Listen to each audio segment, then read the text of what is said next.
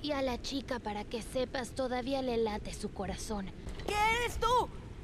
Mm, Soy un furro deforme. Eh, ¿Cómo? ¿Qué dijiste? ¿Quién demonios crees que eres? Me encantaría poder ayudarles, pero me importa un comino.